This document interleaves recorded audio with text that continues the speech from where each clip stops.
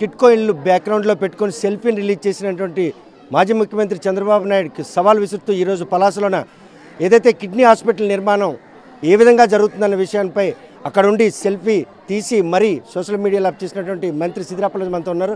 ఈ social media ఈ సెల్ఫీలు వారు గట్టిగా సాగుతున్నట్టు అనిపిస్తుంది అంటే మా ప్రాంతం దశాబ్దాల కాలంగా వెనుకబడినటువంటి ప్రాంతం. గతంలో ఉన్నటువంటి పాలకులు పూర్తి స్థాయి శ్రద్ధ కనబరచలేనటువంటి పరిస్థితుల్లో దీనికి తోడు కిడ్నీ జబ్బులు అనేవి ఒక శాపంగా ఉన్నటువంటి పరిస్థితుల్లో జగన్మోహన్ రెడ్డి గారు చాలా ప్రత్యేక శ్రద్ధ తీసుకొని చాలా ప్రత్యేక శ్రద్ధ తీసుకొని ఒకటి కాదు సుమారుగా రెండు వందల పడకల ఆసుపత్రి ఒకటి ఇచ్చారు. ఏడు వందల కోట్లతో బ్రహ్మాండమైనటువంటి వాటర్ ప్రాజెక్ట్ ఇచ్చారు. ఇది ఏ నాయకుడికి చరిత్రలో సాధ్యపడినటువంటిది. Not only this Jaganmohan Reddy గారి మార్క్ అనేది ప్రతి జిల్లాలో ప్రతి ప్రాంతంలో కూడా ఇన్ఫ్రాస్ట్రక్చర్ రూపంలో ఉంది. దాన్ని మేము ప్రజలకు బలంగా తెలియజేయాల్సినటువంటి అవసరం ఉంది. ఇది మా బాధ్యత. జగన్మోహన్ రెడ్డి గారు చేస్తున్నారు. మేము దాన్ని తెలియజెప్పాల్సినటువంటి అవసరం ఉంది. చంద్రబాబు ఒక టిట్కో సమూహం ముందు నిలబడి ఒక చిన్న సెల్ఫీ తీస్తే మేము ఇలాంటివి ఊళ్ళకు ఊళ్ళు కట్టిస్తూ ఉన్నాం. మా పలాసలోనే సుమారుగా మూడు వేల ఇల్లు ఒకే కాలనీ మూడు వేల ఇల్లు ఒకే కాలనీ కట్టించున్నాం. అంటే మేము ఎలాంటి సెల్ఫీ దిగాల చంద్రబాబు ఒక టిట్కో సమూహం ఎదురుగా ఓ రెండు వందల ఇల్లు మూడు వందల ఇల్లు లేదా ఐదు వందల ఇల్లు ఆరు వందల ఇల్లు ఉన్న సమూహం దగ్గర ఒక సెల్ఫీ దిగితే మా పలాసలో కాలనీ కట్టిస్తాను రెండు మూడు వేల ఇల్లు ఒకే దగ్గర. అంటే మేమేం చేయాలి? అంటే ఆయన సెల్ఫీ తీసి సవాల్ ఇసిరింది తమ హయాంలో జరిగినటువంటి నిర్మాణాలు పూర్తిగా నిర్లక్ష్యం చేస్తున్నారు అనడానికి నిదర్శనంగా సెల్ఫీ ఇసిరారు మీరు కొత్తగా నిర్మిస్తున్నారని అంటే వాళ్ళ కట్టడాలు మీరు అడ్డుకున్నారని ఆయన ఇసిన ఇసిన సవాల్ ఏంటి జగన్మోహన్ రెడ్డి గారికి ఒక ప్రత్యేకమైనటువంటి ఐడియా ఉంది.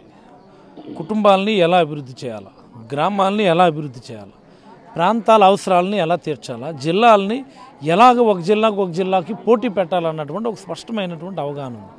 దానికి అనుగుణంగానే ఓ కుటుంబానికి ఆర్థిక ఆసరా ఓ పంచాయతీ అంటే అక్కడ ఒక సచివాలయం ఓ రైతు భరోసా కేంద్రం ఒక విలేజ్ హెల్త్ క్లినిక్ ఒక milk collection centre Nadu Nedu కింద మార్చబడినటువంటి స్కూళ్ళు ఇలాగ ఒక గ్రామానికి అక్కడ కొన్ని రోడ్లు సీసీ రోడ్లు డ్రైన్లు ఎట్సెట్రా ఎట్సెట్రా ఒక ప్రాంతం అంటే ఒక నియోజకవర్గాన్ని తీసుకుంటే ఒక మండలాన్ని తీసుకుంటే ప్రధానమైనటువంటి రోడ్లు విస్తరణ లేకపోతే ఆ ప్రాంతంలో ఉన్నటువంటి ప్రధానమైనటువంటి అవసరాలకు తగ్గట్టు ఇవ్వాల్సినటువంటి ప్రాజెక్టులు. ఒక జిల్లా తీసుకుంటే జిల్లాని ప్రామాణికంగా తీసుకొని మెడికల్ కాలేజీలని యూనివర్సిటీలని ఇలా చెప్పుకుంటూ పోతే జగన్మోహన్ రెడ్డి గారి మార్క్ ఇన్ఫ్రాస్ట్రక్చర్ డెవలప్మెంట్లో తిరుగులేని మార్క్ ఇది. దీన్ని ప్రచారం చేయాల్సిందే మేము ప్రచారం చేస్తాం. ఈరోజు మా కిడ్నీ హాస్పిటల్ ముందు సెల్ఫీ దిగాము.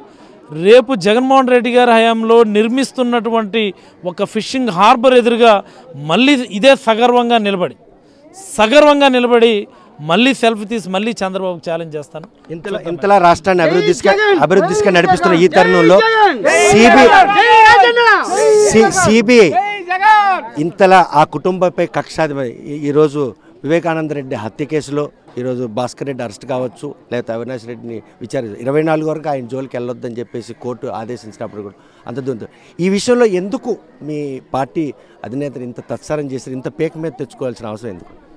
నూను అంటే విచారణ అనేటటువంటిది డీవియేట్ అయినట్టు మనకు చాలా స్పష్టంగా కనిపిస్తూ ఉంది. అంటే విచారణ గురించి నేను వన్ వర్డ్లో నేను చెప్తానండి. నిందితుల్ని వేధిస్తూ ఉన్నారు. హంతకులను ఫ్రీగా విడిచిపెట్టేస్తున్నారు.